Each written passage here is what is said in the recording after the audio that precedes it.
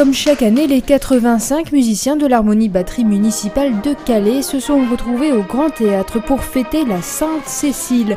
Et comme tous les ans, le public amateur de musique d'harmonie a répondu à l'appel.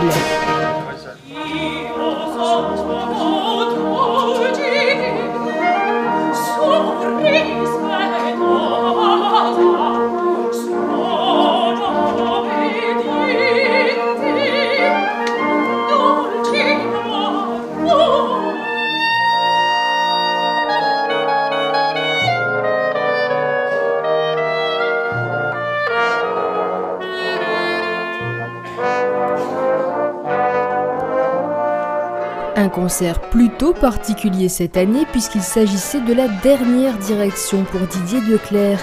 Ce professeur de trompette du conservatoire rayonnement départemental de Calais quitte 20 ans plus tard la direction de l'harmonie calaisienne. D'autres perspectives s'ouvrent à lui, la direction de l'école de musique de Gravelines et de son harmonie, une nouvelle aventure qui promet de nouveaux succès.